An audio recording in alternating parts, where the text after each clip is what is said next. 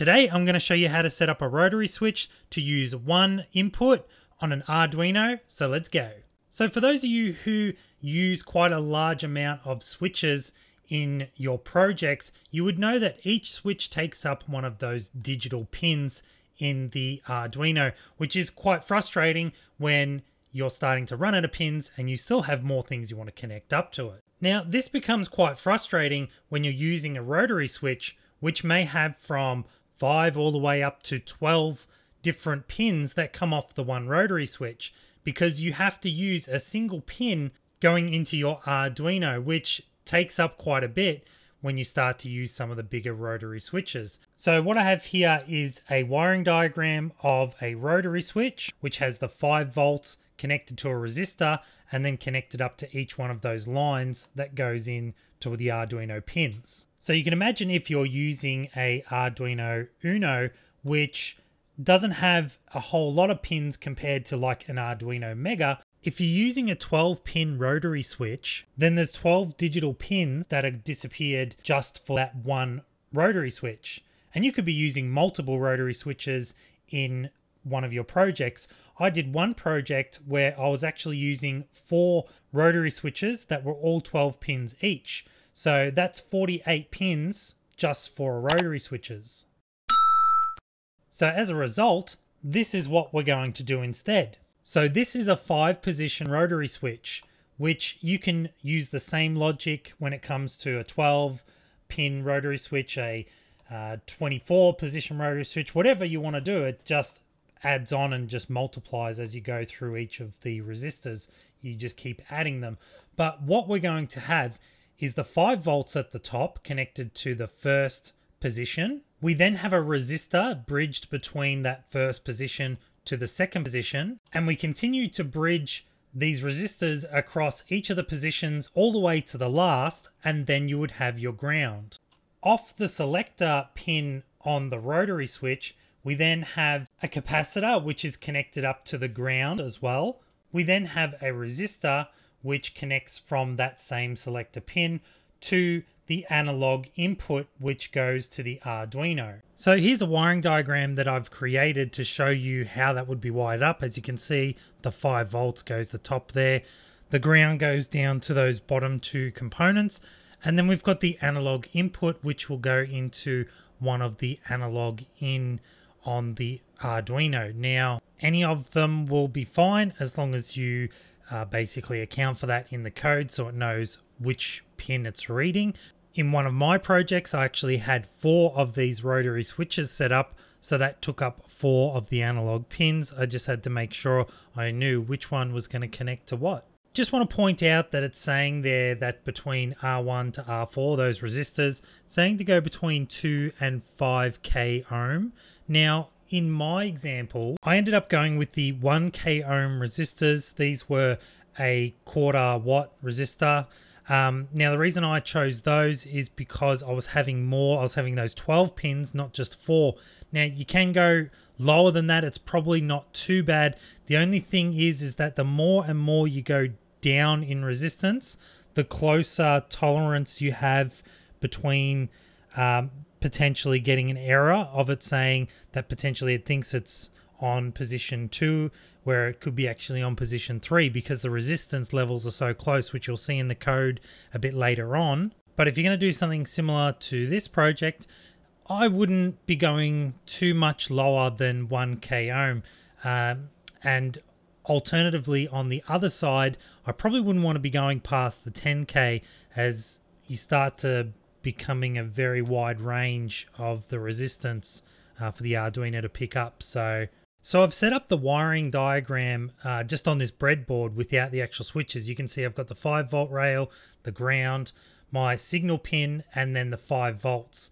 Now I've got all the resistors set up all basically in series and I'll explain through how this is wired up compared to the actual wiring diagram. Alright, so here's the wiring diagram. First we're going to look at the 5 volt rail which you can see here is connected up from the 5 volt to that first resistor we have our earth that's connected up to the last resistor and also to the capacitor. And then last off, we have that analog input wire, which is also teed onto one half of the capacitor and then the other piece is going into the analog input. Now I don't have that 100 ohm resistor uh, before it goes into the analog input, but it doesn't really matter too much because it's going to give whatever the resistance is overall. And being that I don't really care if it's between zero to the first resistance value, um, I don't really care too much. But if you wanted to, you could add it in there. It's just going to reflect in your values uh, later on in the code, uh, which you'll probably see a bit later on. But in this case, we don't actually have the rotary switch to toggle between each um, leg. So what we're going to do is use that blue wire and actually plug it into each of the legs of where the resistor connects up to and it'll act like our little switch clicking between. So what will end up happening and what the Arduino will see is that every time we click between each of those resistors, the resistance value will change. So if we say, for example, at the front end where the 5 volts are, we only have the, let's say in this example, 1k ohm of resistance. When we move it to the second one, we have 2k and then so on so forth 3 4 5k all the way up to 12k if there was a 12 uh, pin rotary switch in my case.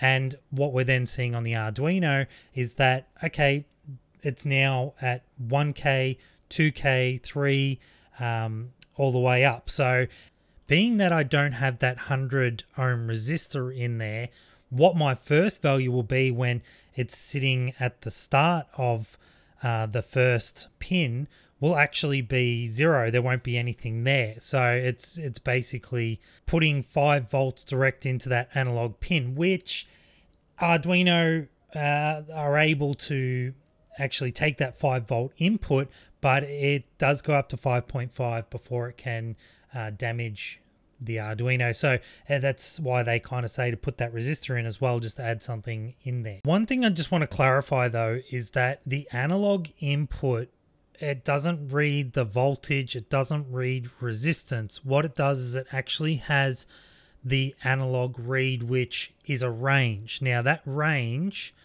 is between 0 to, to 1023. Now, that's important a bit later on because we're going to look at in that range where it's going to give us these values and that's where we'll kind of assign the pins to which I'll show a bit later on when we get to the code. But it's just important to note that it's not voltage it's reading and it's not resistance it's reading. It's giving this um, value between 0 and 1023 So here's my 12 pin rotary switch. You can see there in the middle we've got that selector pin uh, that will actually run to that, uh, for example, that blue wire which runs into the analog input into the Arduino and the rest of them are our selections. So uh, where the actual selector is going to be, uh, we'll have where that voltage is going to connect up to and run through with those resistors. So let's get to actually soldering it all up. But first, uh, I found it easier to actually bend the pins out and flatten them out. Um, not the center pin, but just those ones on the outside. Only because we're uh, soldering up resistors to them, uh, made it a bit easier to flatten them out and then connect the resistors in between each of those pins, as you'll see in a minute. So I solder the first resistor between the first and second pin and once I've done that, I just trim off the excess of the resistor and then I continue the process and do every resistor between the 1 all the way to 12. I make sure not to do a connection between 1 and 12 and then basically it looks like this. Now they're all the same resistors um, and then next thing we look at is the capacitor which one side can join to that selector pin and the other can join to the pin 12 and then we connect up the positive wire, the selector wire, and then the ground wire. So that green one going off to the analog input. Now, I've put them side by side so you can see the wiring diagram from earlier on compared to how it actually looks uh, now. And the wiring of that same wiring diagram, it's built exactly the same. All right, so now looking at the code, the code is actually very simple. We've got the first line that's saying sensor pin is equal to A0 because it's looking at that analog pin 0. And then we're setting uh, integer sensor value is equal to 0 because that's uh, basically our value it's going to hold. So whatever it detects between that range of 0 to 1023, it's just going to hold that value in there and then in the void setup, we've got basically just to allow for our serial monitor. And then in the loop, it's just reading the value. So it's saying the sensor value is equal to analog read, and then the pin it's selecting, and then it's just printing it into the serial monitor.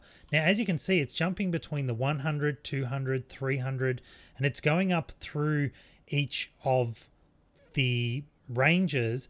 Now, that's directly correlated to when I was showing it set up on the breadboard. This was the code that it was actually showing. So as you can see, it's jumping up in that 100 interval every time I jump between each of those resistors. So if you can imagine that I was clicking between each of the rotary uh, switch pins, we'd be getting an extra 100 every time it was clicking along.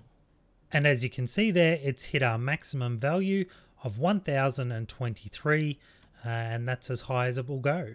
I also want to note that you can see with the readings, it's not always exact. It's not, all right, it's on this, clicked onto this one, it's exactly 750, that's it.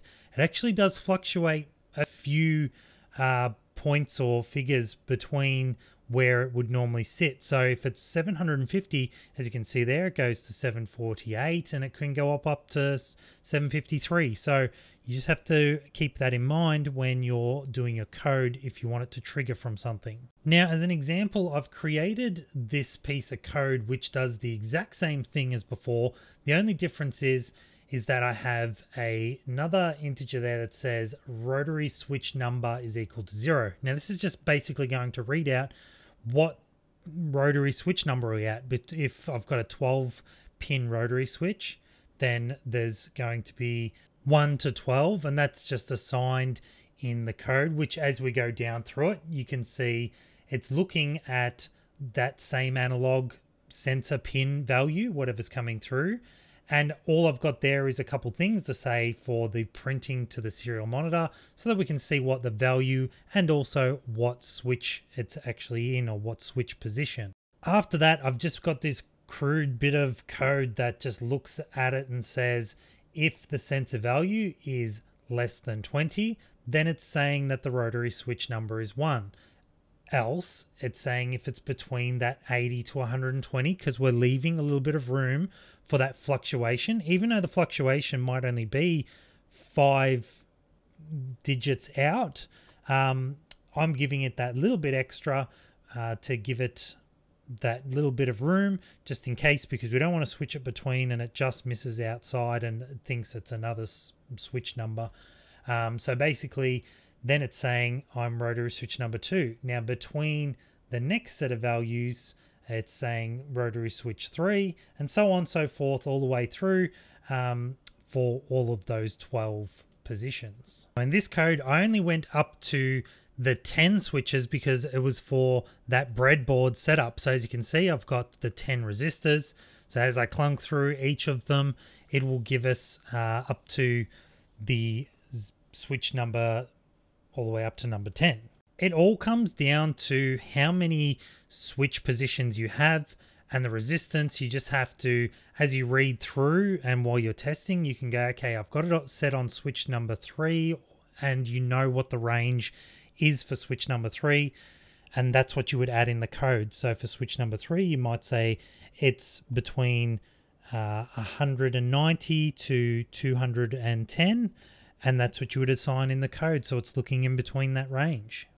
And that's basically all you need to do. So you know once it was done that rotary switch uh, it actually looked a lot neater. We have three wires going to it and that was it. So your your positive negative and your signal going back to the arduino. So for that arduino mega there uh, I could have 15 of those connected up to it. Now you can imagine how many uh, pins that would have taken up on the digital side if we were to do it uh, via the digital way. Even for one of my projects, I ended up basically putting it inside this little box, which you can see fit nice and neat in there.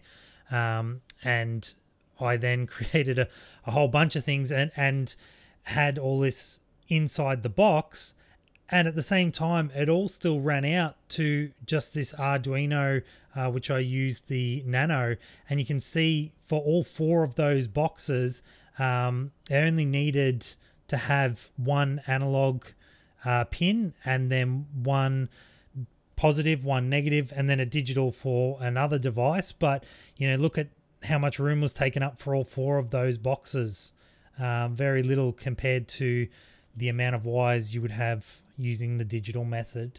So I hope this worked for you and also if it helped, make sure you leave thumbs up. Make sure you subscribe so that you can see similar projects to this.